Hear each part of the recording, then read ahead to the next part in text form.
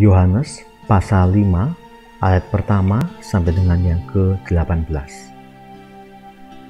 Penyembuhan pada hari Sabat di kolam Bethesda. Sesudah itu, ada hari raya orang Yahudi dan Yesus berangkat ke Yerusalem. Di Yerusalem, dekat pintu gerbang domba, ada sebuah kolam yang dalam bahasa Ibrani disebut Bethesda. Ada lima serambinya dan di serambi-serambi itu berbaring sejumlah besar orang sakit, orang-orang buta, orang-orang timpang, dan orang-orang lumpuh yang menantikan goncangan air kolam itu.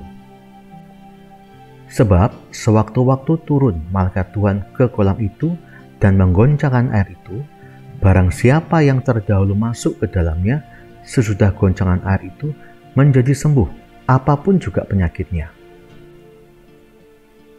Di situ ada seorang yang sudah 38 tahun lamanya sakit. Ketika Yesus melihat orang itu berbaring di situ, dan karena ia tahu bahwa ia telah lama dalam keadaan itu, berkatalah ia kepadanya, Maukah engkau sembuh?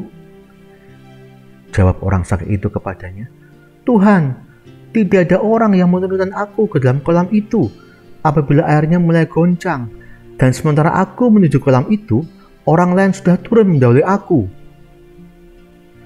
Kata Yesus kepadanya, Bangunlah, angkatlah tilammu dan berjalanlah.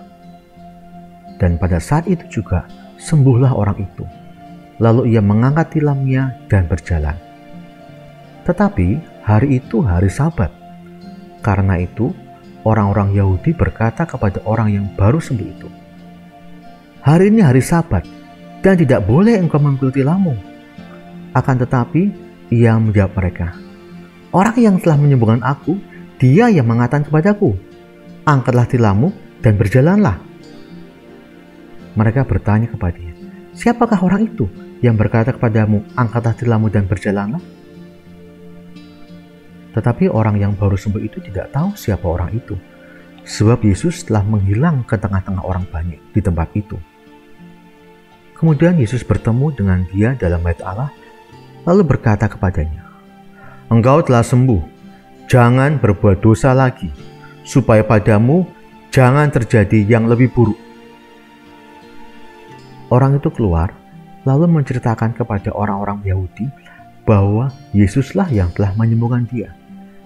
Dan karena itu, orang-orang Yahudi berusaha menganiaya Yesus karena ia melakukan hal-hal itu pada hari Sabat. Tetapi ia berkata kepada mereka, Bapakku bekerja sampai sekarang, maka aku pun bekerja juga. Sebab itu orang-orang Yahudi lebih berusaha lagi untuk membunuhnya. Bukan saja karena ia meniadakan hari sabat, tetapi juga karena ia mengatakan bahwa Allah adalah Bapaknya sendiri dan dengan demikian menyampaikan dirinya dengan Allah.